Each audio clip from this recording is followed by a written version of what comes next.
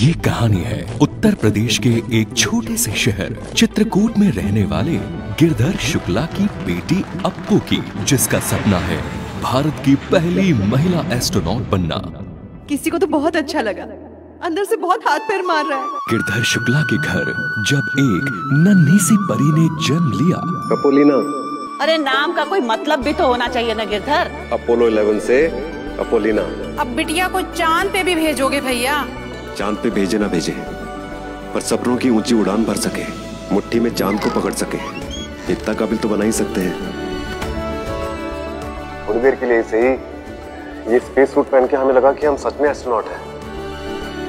उस समय गिरधर को क्या पता था कि अपोलिना जिसे सब प्यार से अप्पू बुलाते हैं एक दिन सच में चाँद को छूने के सपने देखने लगेगी। तो अपोलिना शुक्ला बनोगी रॉकेट गर्ल। लेकिन वो तो लड़की है ना? लड़की भी तो बन सकती है।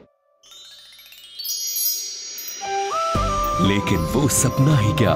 जो नींद में देखा जाए सपने तो वो होते हैं जो आँखों की नींद उड़ा दे ऐसा ही एक सपना हमारी अप्पू ने भी देखा है इंडिया की पहली महिला एस्ट्रोनॉट यानी रॉकेट गर्ल बनने का। हम तुम्हारे रॉकेट मैन और तुम हमारी रॉकेट गर्ल। फिर हुआ एक ऐसा हादसा जिसने अप्पू के इरादों को और भी मजबूती दी।